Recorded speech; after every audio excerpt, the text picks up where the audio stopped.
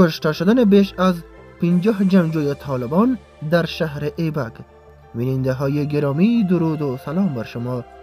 باز هم خوش آمدید به یکی دیگر از ویدیوهای این کانال. تقاضا می‌کنیم تا پایان این ویدیو با ما همراه بوده و این کانال را like و subscribe نمایید. کشته شدن بیش از 50 جنگجوی طالبان در شهر ایبک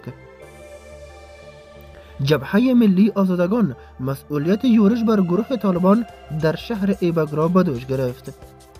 جبهه ملی آزادگان از کشته و زخمی شدن بیش از 50 جنگجوی گروه طالبان در یورش نیروهای این جبهه بر شهر ایبک خبر داد به گزارش اسپوتنیک جبهه ملی آزادگان با انتشار خبرنامه درباره یورش نیروهای این جبهه بر طالبان در شهر ایبک نوشت.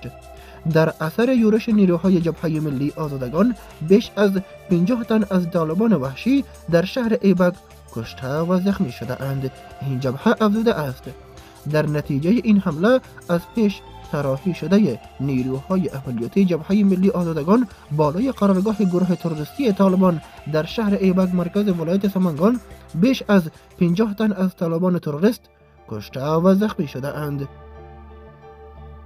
در ادامه این خبرنامه آمده است. این عملیات صبح امروز چهارشنبه مورخ نوی قوس 14 یک خورشیدی بالای ساختمان تربیه معلم دارالمعلمین مرکزی ولایت سمنگان که تروریستان طالب از آن به عنوان قرارگاه نظامی استفاده می کردند صورت گرفته است.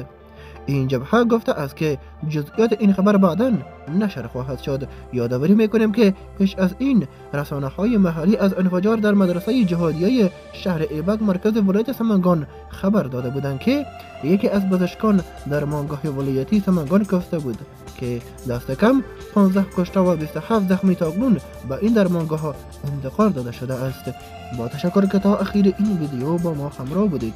تا ویدیوی دیگر الله یار و مددگارتان.